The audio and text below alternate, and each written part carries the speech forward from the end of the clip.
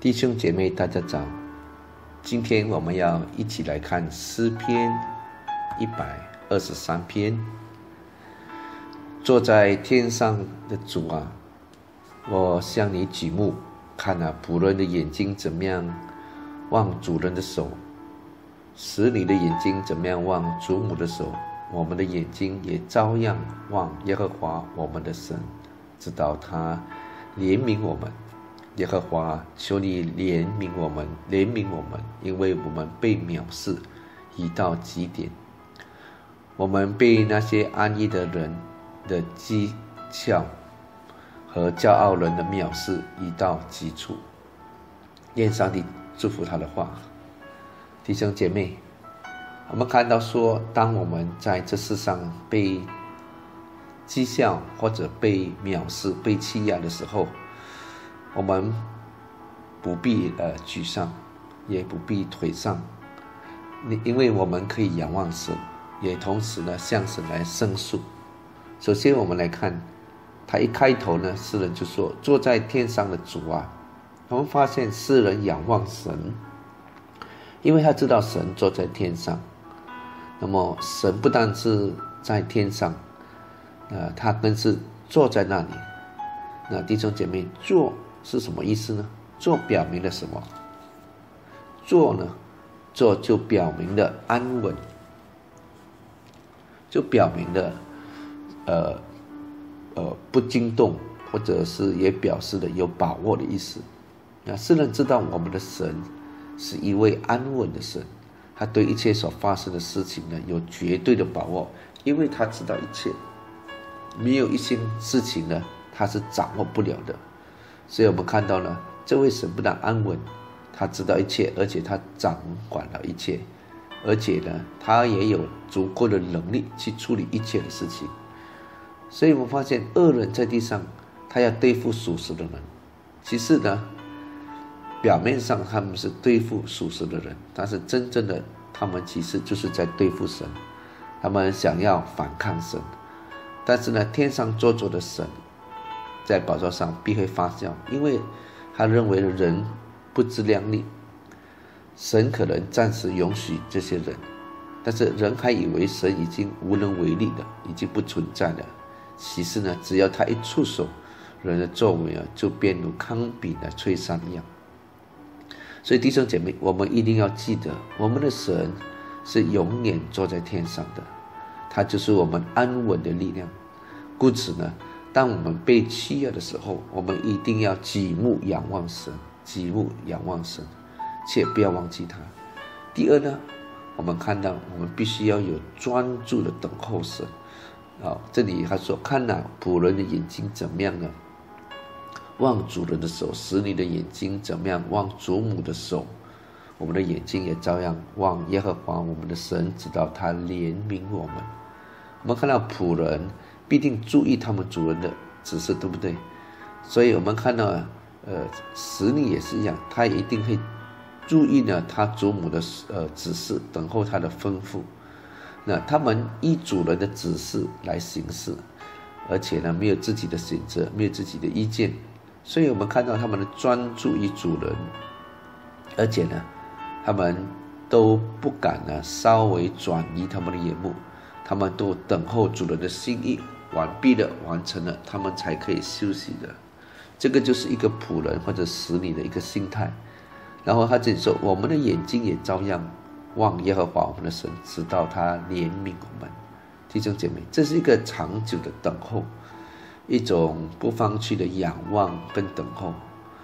唯有长久的等候，不放弃祈求，才真正的算是专注的。我们时常很急性。我们时常不够耐力，我们时常希望一祷告，啊，神马上的，好像吃快餐一样，马上的就，呃，就食物就都端到你的面前来，呃，然后马上希望神马上垂听，但是呢，有时候一些事情呢，不是一下子就可以解决的，它需要时间。那希伯来书呢，就论到那些信心的伟人说。他在希伯来书十一章十三节，他说：“这些人都是存着什么呢？星星死的，并没有得着所允许的，却从远处望见，且欢喜迎接，又承认自己在世上是客里，是聚集的。弟兄姐妹，有所得的等候呢，固然，呃，是等候；未有所得的等候呢，更是等候。那这更是专注。所以我们要专注的等候神，直到他答应，他也必会答应。另外呢，我们必须很清楚的，我们的神是一位垂听祷告的神。如果他暂时没给答案，不表示他不听祷告，这也是表示说他可能有他的，他要耽误的时间，他要延迟的时间，必定有他的原因，必定有他的缘故。所以我们必须很有耐心的去等候。第三呢，这是仰望神的怜悯，从哪里看得到呢？就从第三到第四节说：“耶和华，求你怜悯我们，怜悯我们，因为我们被藐视已到极处，我们被那安逸的人的技巧和骄傲人的藐视已到极处。”我们看到诗人求的是什么呢？他求的就是怜悯，甚至呢，他用了两次说：“怜悯我们，怜悯我们。”弟兄姐妹，求怜悯就是表示我们自己解决不了。那自己无能为力。那当别人在讥笑我们、藐视我们的时候呢？特别是到了那个极点，我们真的承受不了的时候，我们更觉得我们是无能为力的。很多时候，我们的反击或者是对抗完全无效。有时候呢，我们真的被逼到处于一种的呃，一个好像被关到一个的呃。角落一样，啊，在这种恶劣的环境底下呢，处境底下呢，人最需要的是什么？最需要的就是神的怜悯，是神的怜悯才可以脱离，也才可以得胜。因为呢，靠我们自己呢是不可能的。如果我们能，啊，早就不会落在那种环境了。我们要认识自己，承认自己真的是软弱的、无力的，我们胜不了世界。我们胜不了仇敌，我们需要神的怜悯，弟兄姐妹，我们谦卑等候在神的面前，呼求他的怜悯，他一定会垂听的。呃，在这个末世呢，属主的人呢，我们将来就会被反对、被藐视，也会成为一群呢被人讥笑的一群，甚至呢是一群被人逼迫的人，而且呢是越来越厉害的。所以呢，我们真的要学会呢，在这段时间不断的有耐心的忍，等待的仰望神和神的怜悯，好不好？这时候呢，我一起来做这个祷告。但是我们还没有做祷告之前，如果今天早晨，或者是最近呢，你曾经被人藐视、被人讥笑，你为了上帝的信仰，你为了你是一位基督徒。你被人拒绝，甚至被人逼迫，或者呢，家人对你的不了解，家人对你的不体谅，你深受呢很受伤，你的灵里面呢，因着这些事情，好像没有办法祷告，也可能很酷感。今天早晨，当我们特别做这个祷告的时候，我恳求你，特别的祈求圣灵。来到你的生命来释放你，好不好？这时候我们做一个祷告。亲爱的主，我们知道，很多时候我们为了站稳我们的立场，是一个基督徒，站在你的话语，按照你的话语来活，来为你做见证的时候，我们必定会面对到一些反对跟我们对抗的力量。可能是别人，我们还不在意，但是呢，很多时候往往反对我们、拒绝我们的，却是我们身边我们最挚爱的亲人、家人，或是跟我们非常靠近的朋友。主啊，这个就叫我们呢，非常的伤心跟失望。主啊，这个时候，你透过这段经文。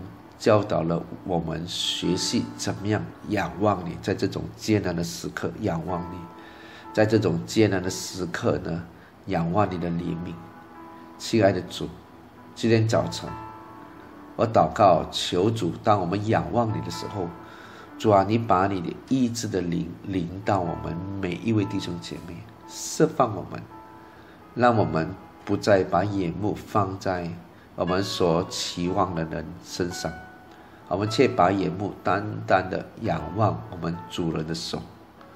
主啊，仰望你，主啊，把我们的依靠投在你那边，好叫我们的身心灵呢，完全的得到释放。因为我们不要为了这些事情，使到我们感觉很压抑、很压力、很受伤，以致我们没有办法来敬拜你，以致我们没有办法跟你有真长的一个关系。亲爱的主啊，今天早晨我要奉耶稣基督的生命，你就释放我们，使我们灵里面得到自由，能够来敬拜你；使我们的灵里面得到意志来敬拜你。主啊，我们谢谢你，我们要向你献上感恩，我们要向你献上赞美。我们如此的祷告是奉靠主耶稣基督的生命祈求，阿门。弟兄姐妹。我们要持续的仰望神，把眼目定睛在他的身上。愿上帝祝福你有一个美好的周末。